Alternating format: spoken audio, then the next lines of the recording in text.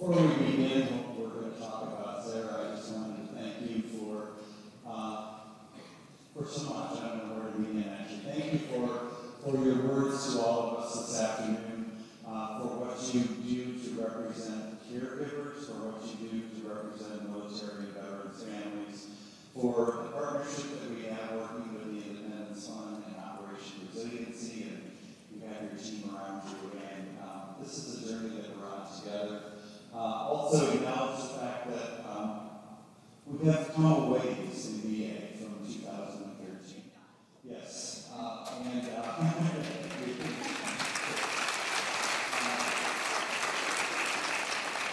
also acknowledge that we have more to do, and and that was part of, of what um, I tried to communicate yesterday uh, in, in, in my remarks. I think when when people contact us, um, and I, I don't know that you were here yesterday, I said, you know, we need to jump up and down. We need to, you know, recognize that and, and embrace the opportunity when a veteran or a, uh, a family member reaches us, and uh, we, we really need to celebrate that. But thank you again for what you're doing, and uh, you know, we are part of your extended family. So, all right. So, thanks. So with that, uh, we do want to talk about um, uh, the executive order, and, and uh, we're going to talk about the uh, executive order uh, 13822, and you all know what that is, right? So, uh, just that was rhetorical. Uh, anyway, Dr. Orvis is going to uh, fill us in on the executive order, but Karin, if I can, and we're going to try and have a conversation uh, here for a few minutes. So, if this looks unscripted, it is. So, just be, bear with us on that. But I, I also, in, in light of, of Sarah's uh, comments, uh, um, well, let me have, Karin, why don't you introduce it, because I want to, Sure. when I, Sure, and I also, if I may, thank you again, Sarah, and thank you for the morning presentations as well. I mean, yeah. the, the impactful sessions that we've had today, it's, it's hard to follow that, and it's. I, I think it, it leaves an impact with us all. It could, we'll continue to think about it, continue to think about what we need to do differently and better, so thank you for your story. Uh, Moving into the executive order. This executive order, it was signed by President Trump back in January 2018. And it's focused on, uh, it actually charged the Department of Defense, Department of Veterans Affairs, and Department of Homeland Security to come together and ensure that we have seamless access to mental health care and suicide prevention resources for our transitioning service members and our recent veterans. And in particular, it was focusing on that first year of transition uh, after separation or retirement. And this really is, has been a wonderful opportunity for us to shore up our already collaboration, but really focus on that high-risk period of transition for our service members and our veterans. And would like to turn it to you and, and ask from your perspective, you know, what have you seen in terms of the importance of this particular EO or the work that's ongoing right now? I, I, uh, several things of uh, why this is such an important opportunity, and I think it's been a great opportunity for us to work together too, Karin. Um, but but um, thinking back to, to uh, Sarah's remarks a few moments ago, I also want to um, uh, something that I have come to appreciate, and I feel I'm probably preaching to the choir here. When we talk about transition from active duty into civilian life, we're not talking about one thing. We're not talking about two things or even ten things. It's, it's as individual as the, the individual service member and family situations are. And so, you know, what, what we're trying to do through the executive order is pay attention to that time. But I, I want to assure you and uh, otherwise remind you that we really have to look at this uh, from the perspective of each individual and each individual family. But um, why this is, is so important, you know, we, we heard um, the presentations this morning and, and yesterday about, um, you know, what happens when, when someone leaves uh, military and, and all of the things that change in terms of that sense of uh, belonging, the career, the daily relationships, the daily routines, the uh, support systems, social networks, the financial system, all of those sorts of things. The uh, uh, you know going to apply for a job and not just you know presenting your form to your you know officer, but you know having to do a job interview and a resume and all those sorts of things. So it is, it is a critical time, and what we've learned in, in looking at our data, sadly, and I personally, I still struggle with this, is that that first year, or maybe even the first few years after transition from active duty to civilian life, is a high-risk time for suicide. We know that from our data. So the, the executive order uh, was a great opportunity and a reminder to all of us that we need to do more to pay attention to that time. And it's also the fact that it's no single agency. And um, um, I, am I'm, I'm very happy that Karin and I are standing here together because I think sometimes uh, there's been a perception that our agencies are like, no, you handle it, you know, you handle it, no, you handle it, you know, and I think we're in this together along with the Department of Homeland Security, and so th- that's another part. No single agency, but, but again, I, I, going back to Sarah's remarks, it's not just about the agencies. We need the agencies that are here. We need everyone in this, this uh, opportunity. And, and finally, that you know there are certain maybe subgroups of um, uh, veterans and service members that we have to pay special attention to.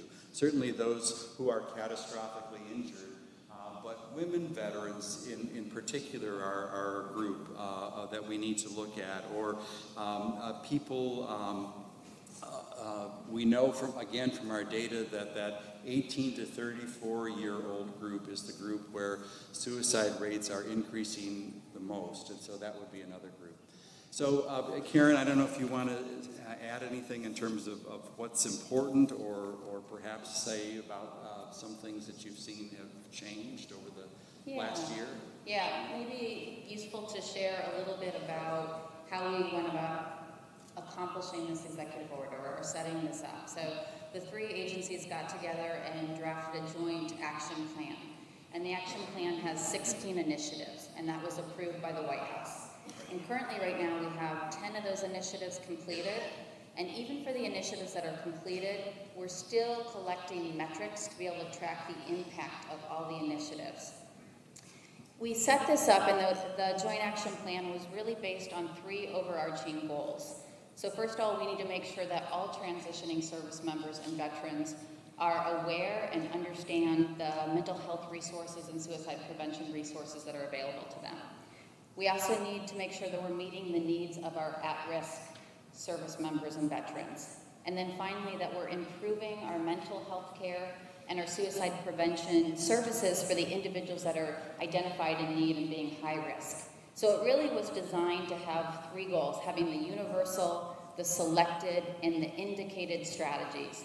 The universals being for everyone, the selected being we know individuals might be at higher risk, and then the indicated being we know they are high risk and what are the specific things that we're doing to try to help that, that group of individuals.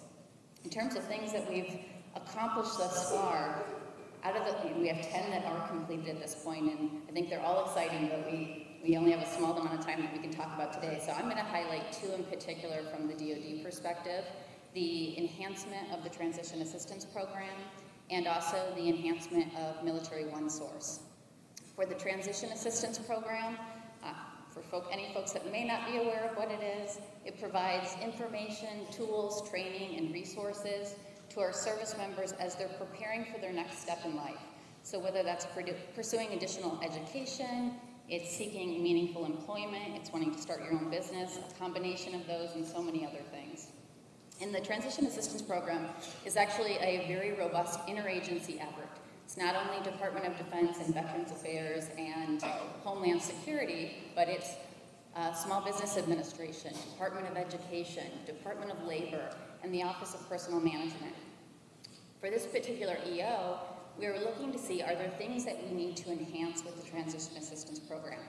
And one of the items that was identified, well, first of all, we enhanced the curriculum, looking specifically at the curriculum focusing on VA benefits and enhancing what are those mental health resources and care that are available in your first year post separation or retirement and beyond. So that's a greater emphasis. There is also now a facilitated registration into VA healthcare as part of the curriculum to walk you through that, to have a conversation about that, and that didn't exist before. And now we also have in terms of identifying individuals that might be at risk or might want some additional support, we're focusing on psychosocial needs and providing warm handovers for individuals that might want to have some additional peer support. So, for example, we're providing connections to Military One Source that provides peer support, among other resources. And the, the Transition Assistance Program has a variety of supports in place already for individuals that are either identified in need or suggest that they want some additional resources. So focuses on, for instance, if you might be at risk for homelessness or transportation needs or unemployment, uh, or you want additional support on your VA benefits. That was already built in. But what was could be enhanced in particular, and certainly there's always room to improve, but uh, is those psychosocial needs. Do you have your support networks? How do we connect you there? So that was a, a key enhancement that we had in, in the transition assistance program. This is not transition assistance so much or TAP, but another enhancement from the EO is there is now a manda- mandatory separation health assessment that all transitioning service members must complete no later than 180 days prior to separation or retirement. And that includes a mental health component. So that's an important step forward.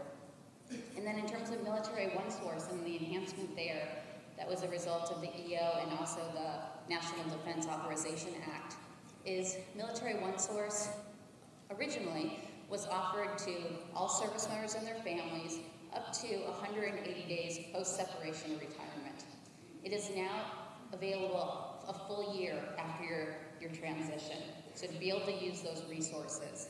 And in case folks are not aware of Military One Source and all that it has to offer, it's a 24-7 call center and website that offers a whole host of resources. And it's for all of our transitioning service members. So it's for active component, reserve, National Guard, their families, and veterans the first full year. And there are a variety of offerings. So if you need help with your taxes, that's possible.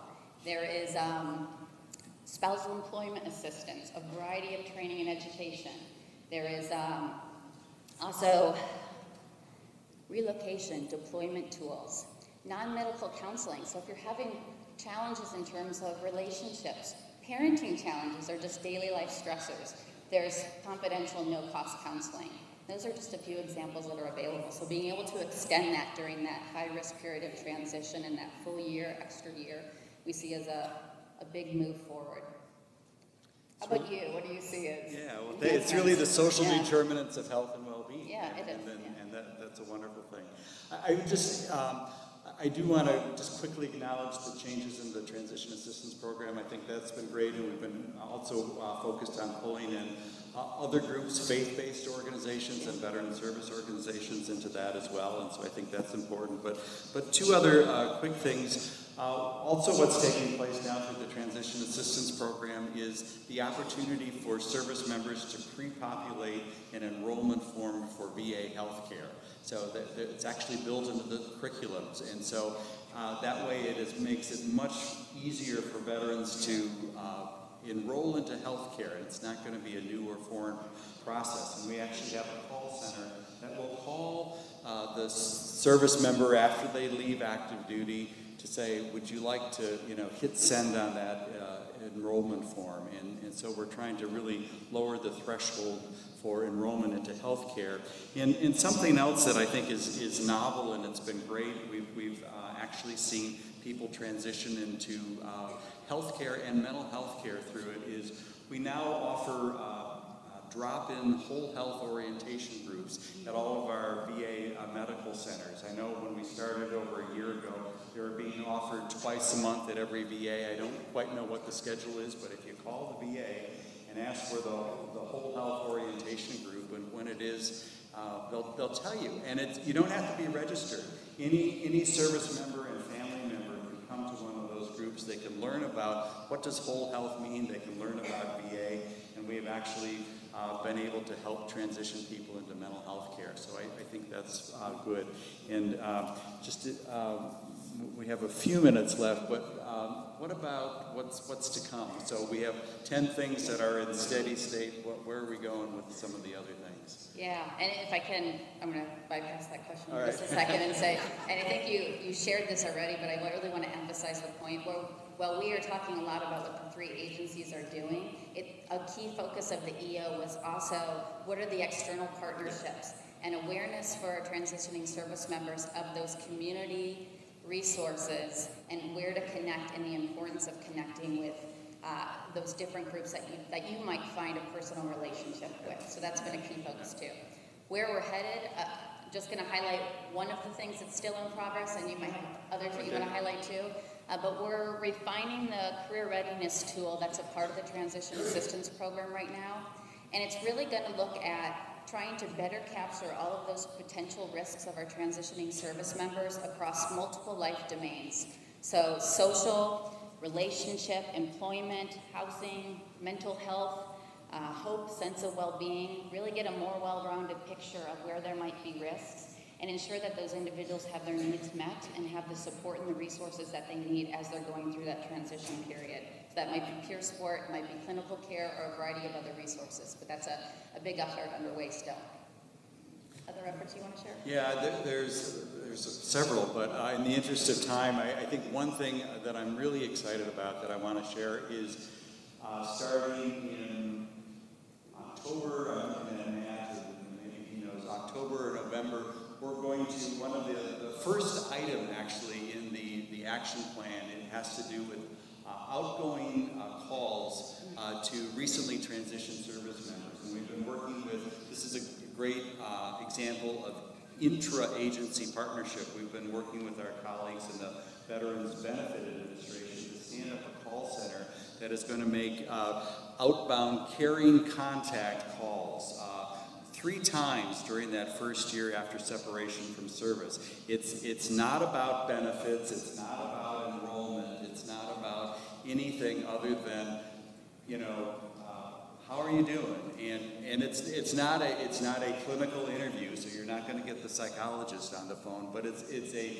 it's a caring, kind, outgoing contact from uh, VA saying, what can we do for you? Are you aware of the resources that we have? And we're going to make those calls. And uh, we met with the call team um, a few weeks ago, and they have scripts that are, are, are written, and you know they have this whole protocol laid out where they're not just going to try your phone number, and if you don't answer, they're going to move on to the next person. I think you know they're going to try you know all these number of times and at different times of day. So it's it's really they're they're going to uh, pursue these people, and I think again that that represents the commitment, and and it's based upon the information that that DoD is providing to us. It really uh, shows the commitment that we have jointly as agencies to be there to support uh, uh, service members during that important uh, first year after transition. But there, there are a few other things to come, but I think we're, are we out of time? Uh, yes, uh, we are. So uh, I'm looking at our, our, our cue. So Karin, I'll let you close us out here if you have any, any last minute comments. Sure. Just that I think this is a, a great example of our partnership and not only in terms of how we're working with our three departments, but the community stakeholders to really ensure that we're continuously improving that support, the resources for our transitioning service members and veterans. And there's always more work to do. Uh, and I think we're looking to do it together and to do it with you all as well in terms of the community. So appreciate appreciate you all being here today. And if you have additional thoughts, questions on the executive orders, either one of us would be happy to talk about it, and you certainly could uh, stop over to our resource uh, tables as well to learn more. And, and we do uh, have one other thing, I guess I'll say. Uh, heads up for tomorrow. Dr. Barbara Van Dahlen is here, who's going to talk to us about the executive order that was signed uh, this year, uh, standing up the Prevents Task Force. So there's a second executive order, and there's more to come in this space tomorrow. So please uh, make sure you're here and attentive tomorrow morning, and we look forward to Barbara's presentation. Thank you. Thank you.